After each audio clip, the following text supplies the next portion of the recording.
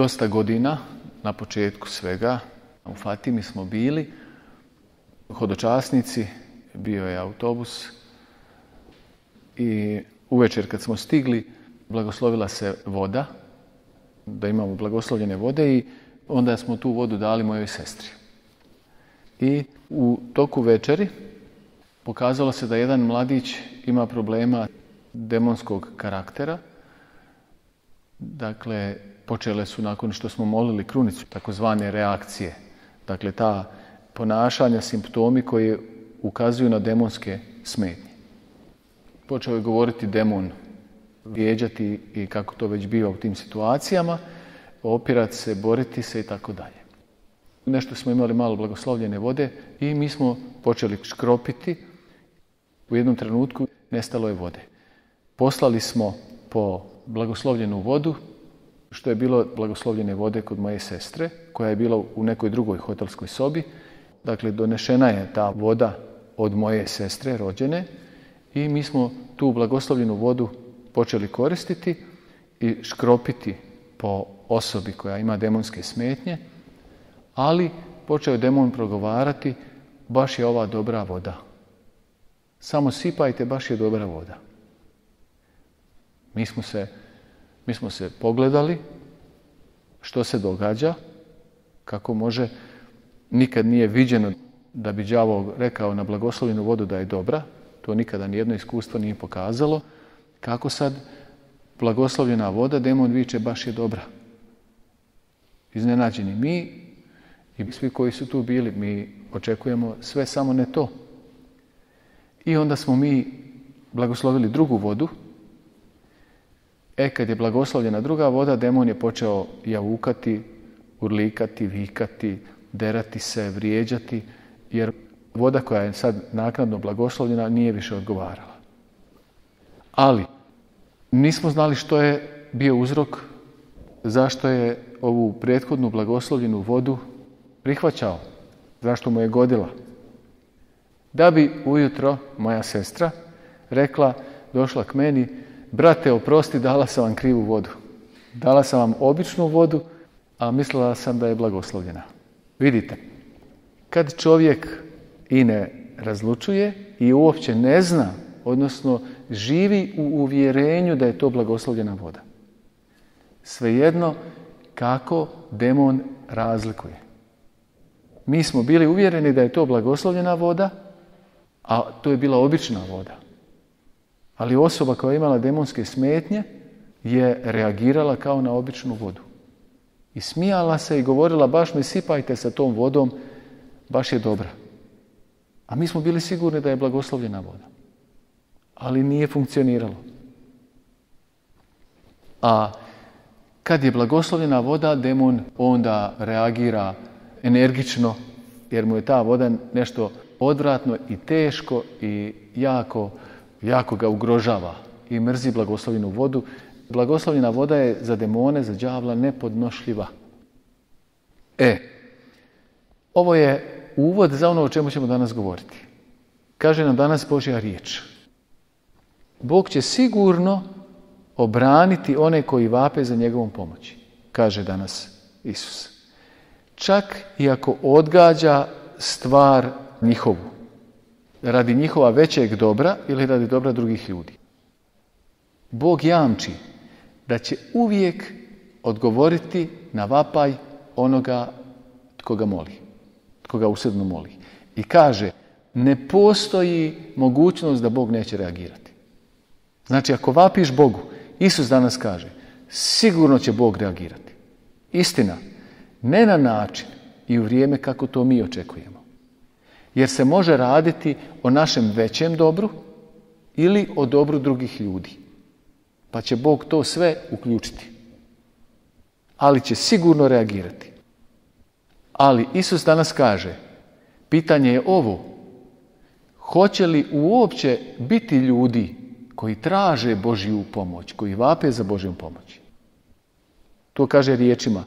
Ali kad sin čovječi dođe, hoće li naći vjere na zemlji? Hoće li uopće naći vjere na zemlji? Zašto? Jer pitanje Božje intervencije i pomoći je pitanje vjere. Vjera je ono iz čega izvire vapaj Bogu. Iz čega izvire ljudska molba za Božjom reakcijom, za Božjom pomoći. Budući da se vjerom poziva Boga u našu sudbinu, u naš život, na djelovanje, onda je vjera naša snaga, naša zaštita, naše oružje u ovom životu. Jer vjerom mi tražimo od Boga koji je apsolutno dobar, ljubi nas i moćan. I mi vjerom tražimo da On intervenira u našem životu, u naš život, to znači da to uvijek ide u našu korist. Jer Bog nikad se ne upliče u naš život osim za naše dobro. Drugo je sve nemoguće. Jer je Bog apsolutno dobar, apsolutno moćan. Otac. I zato kaže, što čitamo u časoslovu, zato kaže, otrijeznite se, bdijte, protivnik vaš đavao kao ričući lav obilazi tražeći koga da proždre. Oprite mu se čvrsti u vjeri. Vjera je vaše oružje. Jer vjera je put, dar kojim prizivate Boga u svoj život i znate za Boga. Drugim riječima, vjera je ona preobilna svjetlost, ono preobilno svjetlo koje nam rasvjetljuje život i životni put. I samo uz pomoć vjere jasno vidimo tko smo, kamo idemo, koji je smisao našeg života, koji je cilj našeg života, ali po vjeri koja je svjetlo vidimo i tko su nam neprijatelji, tko na nas vreba, đavao i tko nam može pomoći. Po vjeri znamo da je Bog svemogući otac, dobri koji nas beskrajno ljubi. Po vjeri znamo od koga ćemo tražiti pomoć, a od koga ćemo se paziti i čuvati. Zato ovih dana smo proslavili Tereziju Avilsku prije četiri dana, prva naučiteljica crkve, proglašena 1970. od Pavla VI.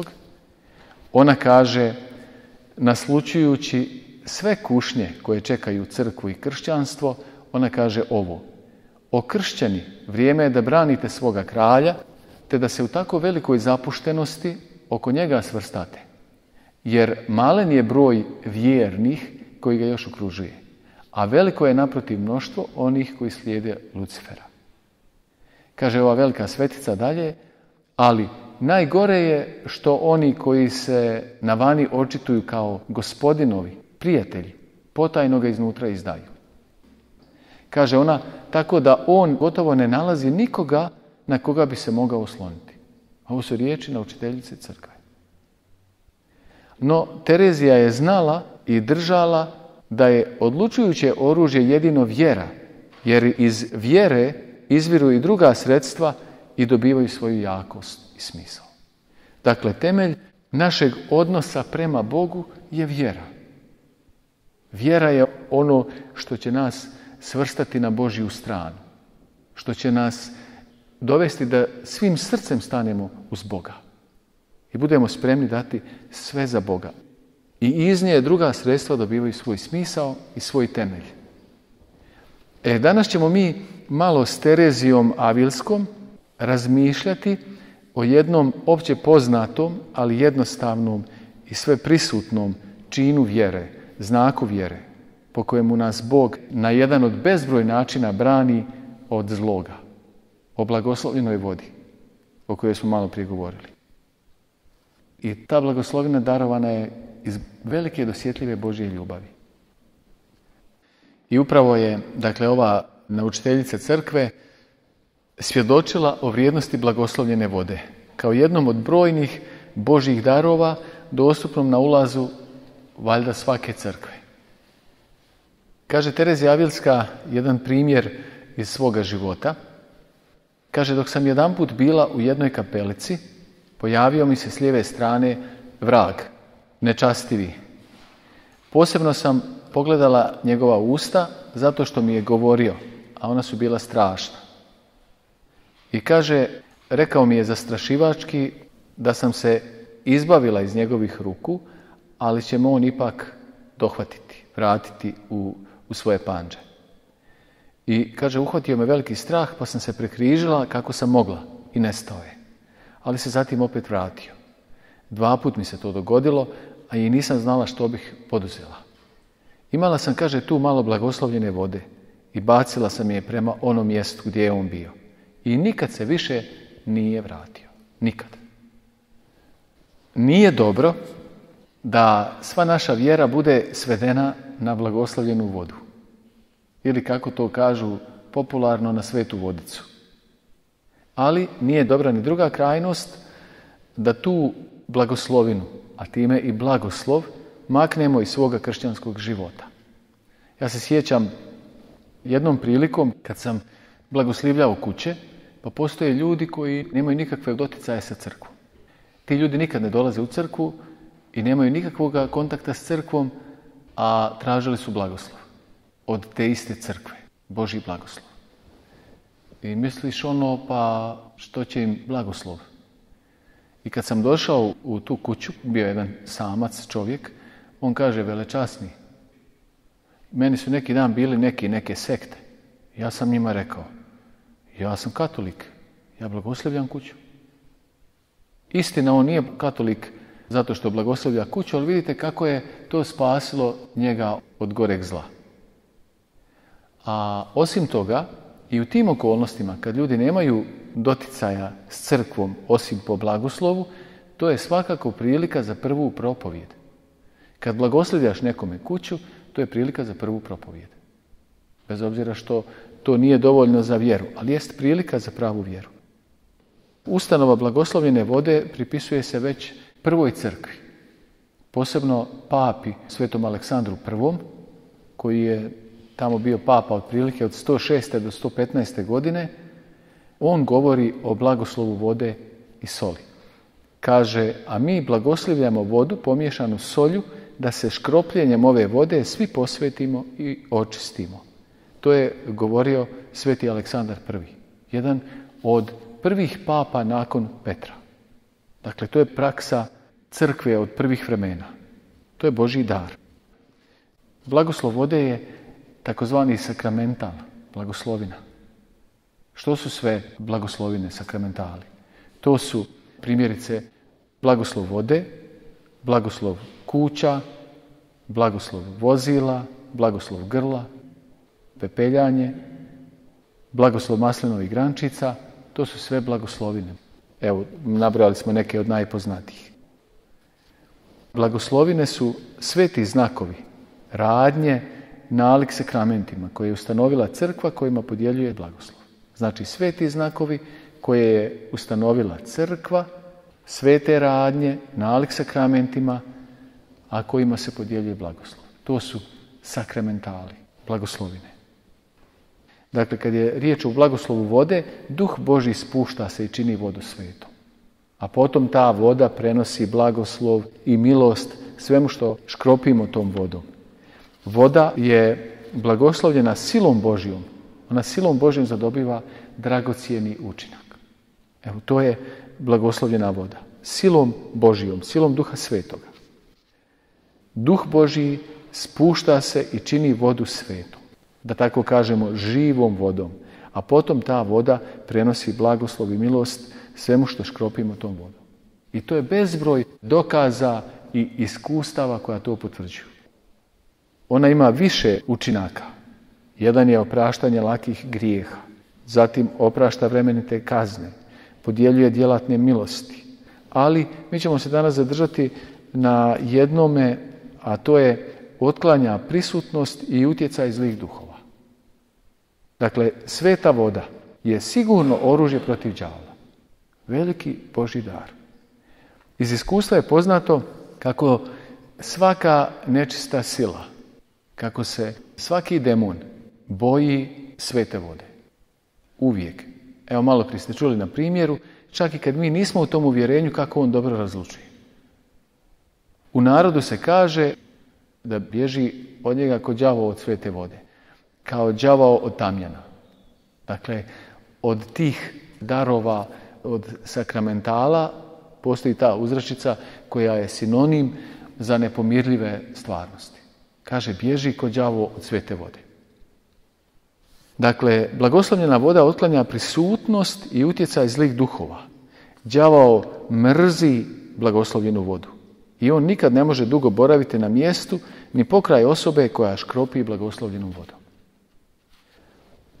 Posebno je to vrijedno imati u vidu kad prvi put nastanjujemo neki prostor. Trebalo bi ga obvezno blagosloviti. Zato ljudi zovu kad se useljavaju u kuću, zato postoji godišnji blagoslov zbog ovog učinka blagoslova i blagoslovljene vode.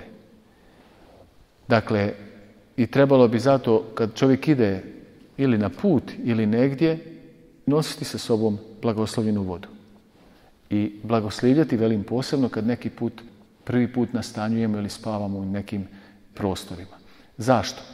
Zato što je đavao i demoni stvarnost. To je stvarnost.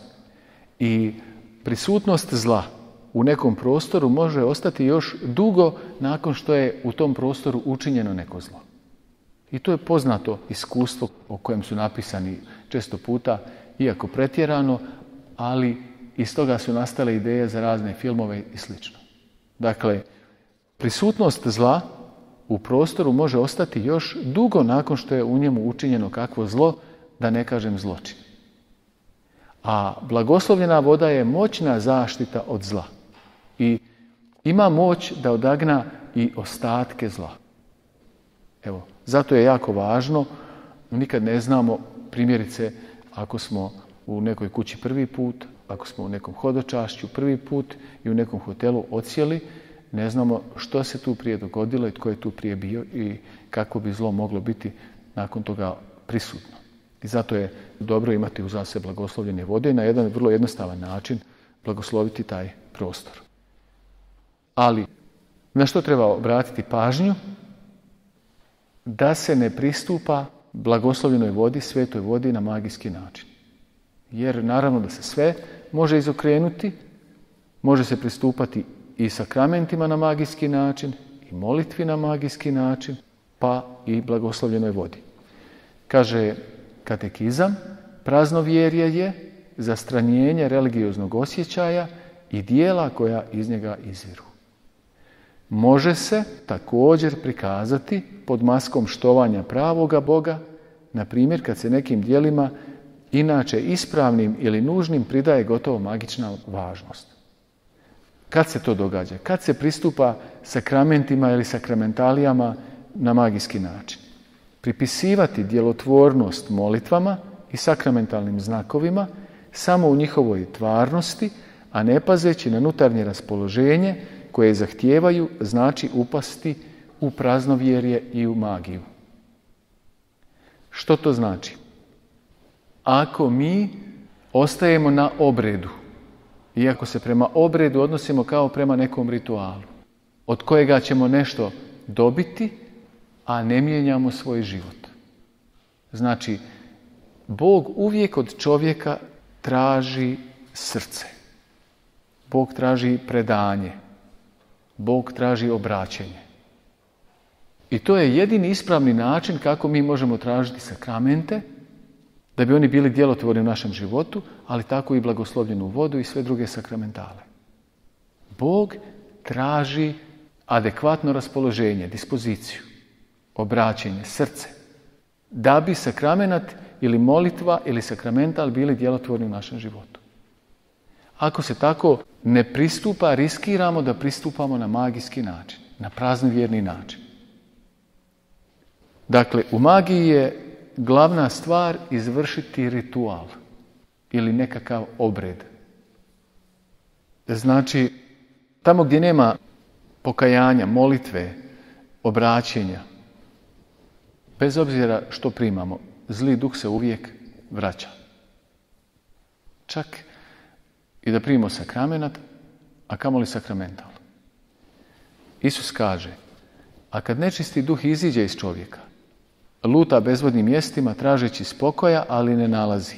Tada rekne, vratit ću se u kuću odakle iziđoh.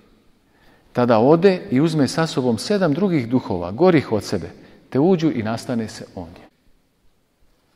Znači, ako čovjek srce ne daruje Bogu, ako sebe ne daje Bogu, ako život ne otvara Bogu, ako ne ide putem obraćenja, nikad nikakva blagoslovljena voda, ni sveta vodica, ani sakramenat neće biti djelotvoran u njegovu životu, nego će se dovesti u još goru situaciju. Zato velim, uvijek treba iskoristiti kad se blagoslivlja, kad nismo sigurni da čovjek to razumije, uvijek za prvu propovjed. Blagoslivljaš vozilo, bilo što drugo, treba na taj način pristupati. Sveci dobro shvaćaju čemu služi blagoslovljena voda. Jer sveci imaju čvrstu i jasnu vjeru. I vjera je svjetlo i oni dobro razumiju tko im može pomoći, tko im je neprijatelj. Ali dobro razumiju što je sve Bog čovjeku ostavio na putu prema nebu. Sveta Faustina. Ona kaže da blagoslovljena voda pruža posebnu pomoć umirućima. Kaže ona, jednom prilikom kad je jedna sestra, njihova bila na samrti, i cijela zajednica je bila okupljena oko nje. Također i svećenik koji je bolesnici podijelio odrješenje. Ali kaže Faustina, u tom trenutku ugledah mnoštvo duhova tame, mnoštvo demona. Zaboravila sam, kaže da se nalazi među sestrama, uzeh škropilo i s blagoslovljenom vodom poškropih duhove tame, na što oni odmah nestadoše. Kaže, ali kad su sestre došle u blagovalište, upozorila me majka predstojnica da bolesnicu nisam trebala poškropiti u nazočnosti svećenika, jer to pripada njemu. Tu opomenu prihvatih u duhu pokore, ali blagoslovljena voda pruža umirućem veliko olakšanje. I iz života Terezije Avilske još jedan primjer, kaže ona, u više navrata iskusila sam da nema stvari od koje bi više bježali demoni. I od križa bježe, ali se vrate. Zacijelo je velika moć blagoslovljene vode. Za mene je posebno i jako znana utjeha koju osjeća moja duša kad je uzimam.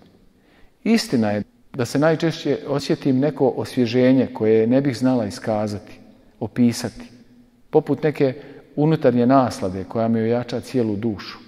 Recimo, kao da bi netko osjećao veliku toplinu i žeđ, pa popio vrč hladne vode, te se čini da je sav osjetio osvježenje. To nije privid, niti nešto što mi se dogodilo jedan put, nego jako puno puta i promatrano s velikom pažnjom. Kaže ona, razmišljam kako li je veliko sve ono što je naredila crkva. Pa se jako radujem kad gledam da one riječi imaju toliku snagu te je daju i vodi. Da nastaje tako velika razlika između onoga što je blagoslovljeno i što nije. Kaže, u više dakle navrata je iskusila da nema stvari od koje đavli tako bježe kao od blagoslovljene vode. Kaže, i od križa kao znaka bježe, ali se vrate.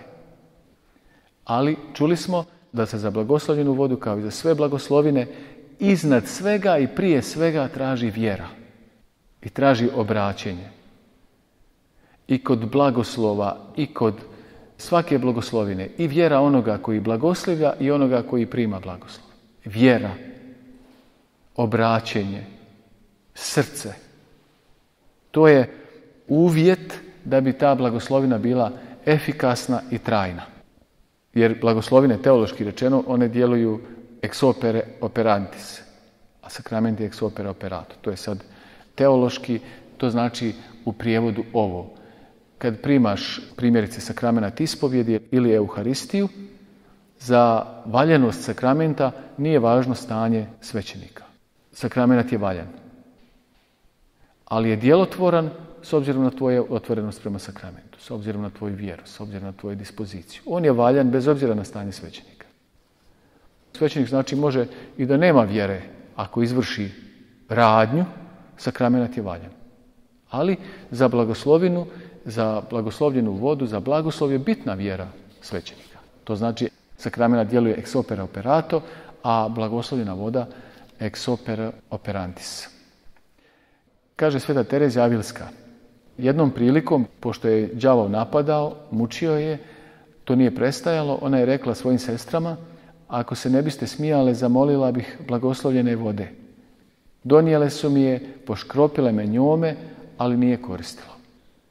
Kaže, bacih je prema mjestu gdje se nalazio vrag i u hipu je otišao. a minula me je i sva ona bol kao da mi je rukom bila odnesena.